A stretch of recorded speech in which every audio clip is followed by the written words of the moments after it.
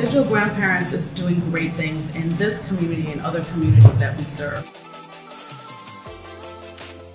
A lot of older citizens do not know how to use the computer or their cell phone. We provide a great service in this community, whereas other communities might not have organizations like ours to help them with their technology needs. We're able to provide that.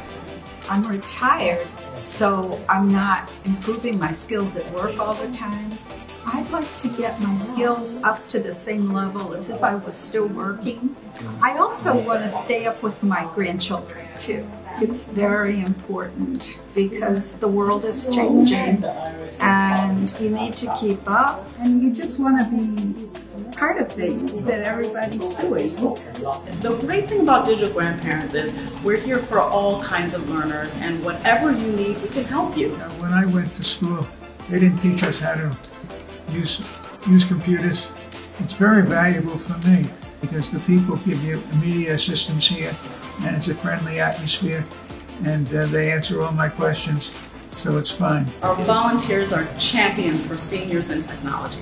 I think my technical skill were very helpful for digital grandparents.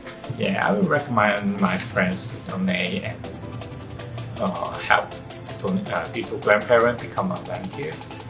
It is important to donate to digital grandparents um, because we provide such a great service for adults that uh, need support in technology.